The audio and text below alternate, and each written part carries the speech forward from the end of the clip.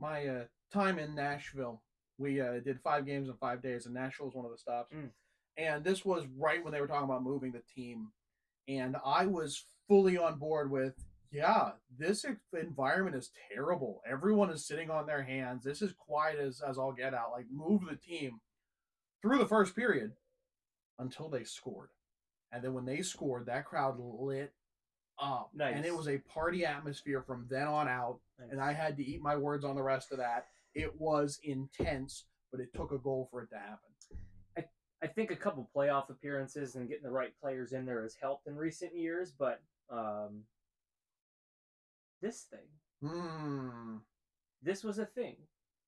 From a bygone era that is well forgotten in lieu of this. Maybe Golden for the era better. Maybe yeah, for the maybe better. for the better. Uh, let's talk about it next on Ugly Thirds.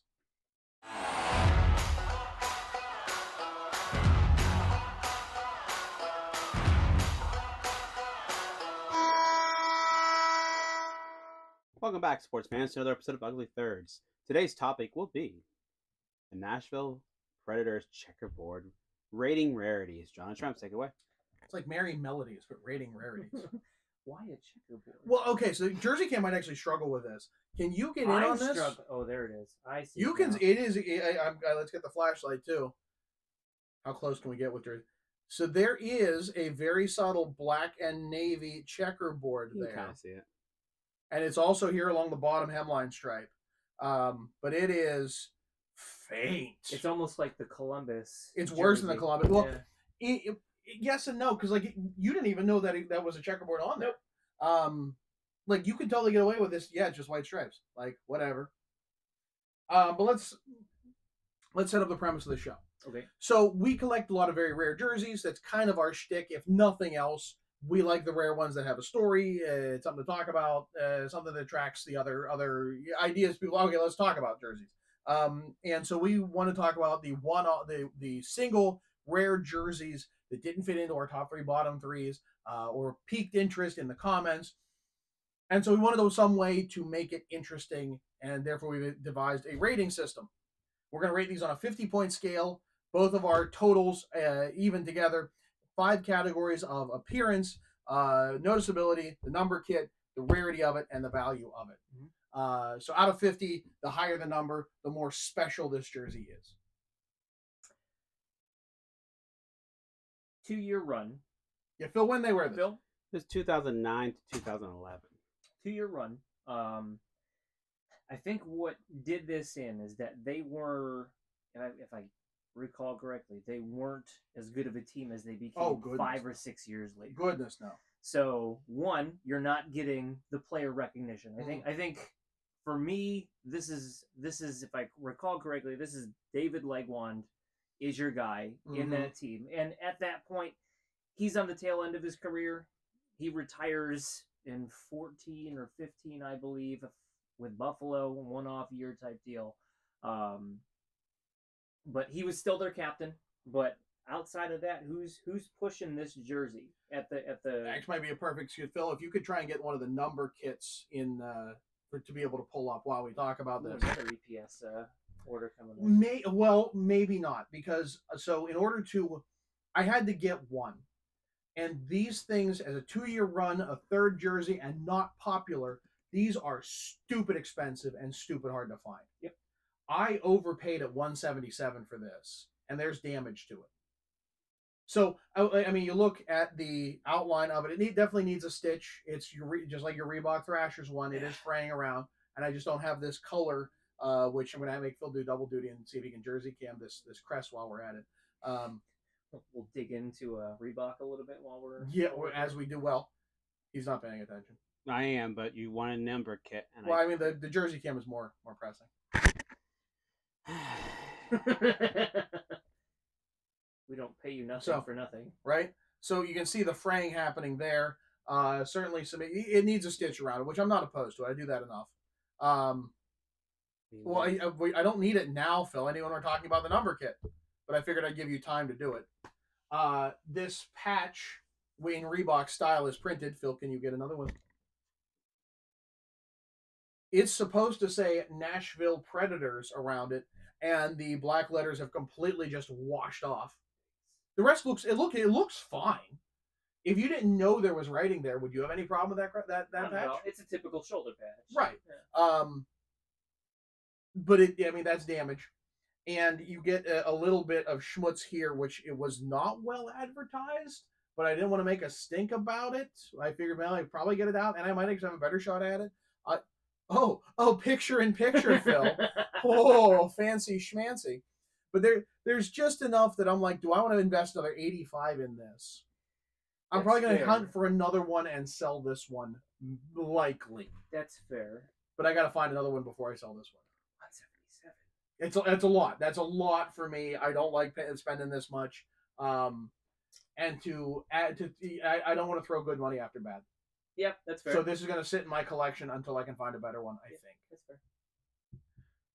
So two years checkerboard. The checkerboard is supposed to be the Nashville's racing history. You get that right? I guess. Uh, and they Uh. did they did make a white version. It looked like this was going to be the future of the team. Phil, you want a real project, find that white version. Um, he's not. He's not going to find that white version. It's that that for me is the basis of this show. Like that is going to be one of the hardest jerseys to ever come across. They well, I mean, it was a rumor for a long time, and then they sold off a team set of Reebok Authentics at a charity auction. Yep. And all it was, it was just these two checkerboard stripes. So it was just one checkerboard stripe, second checkerboard stripe, and the crest. Yep. And then the, the patch. That was I it. I think it's a, this stuff. Oh no, maybe But that's, it has it has the players' names on them because, Because they was- were modeling them at the event. They were testing it. it. It was tested to be worn on the ice, and they decided to go in a different direction. And this was that different direction, which what a better choice, I think. correct. so. I think, What do you got, Phil? What do you got? I'm trying to see one if I. Oh, here's one side by side. Here we go. Um, Yeah. Oh, yeah, someone actually got it and put it. Yes. Oh, it's the subreddit. Yeah, that's not surprising. Um, But that's it. That's that's the ones they sold. like Which I, I haven't seen one without a player on it. So either that was one of the spares in the set, or they got it custom made. Oh, can you can you Can you pinch them? zoom? in and see if you can get the go up a little bit? Oh, I wish it would turn over. Uh, yeah, there it is. you can see the lettering there. Yeah, you can see the Reebok uh, logo on the back. Oh yeah, no, no, it's it's real, and you can It's see the lettering in the patch. Like that's the thing that's and the checkerboard is also apparent in the patch. and It's Yeah. still there. But This it's is this so is a different crest. This has a uh, edge to it. This has like a, a, a you could see that it's beveled a little bit. Yours is not. Maybe that's something they played with, or maybe it's just simply quality of authentics versus not. I don't know. They also took a whole lot of color out of this. Like this is a lot less colorful than the crest used to be. Which, if you're still going to stay on that, I can pull that out. Or actually, it's on your chest. But okay, so you can come back, Phil. Notice what it was usually. Like they were going much more muted. This is your dark and gritty reboot. This is your Batman Begins of Nashville. Oh, very well said. Uh, very well said. that and and again two years not well received.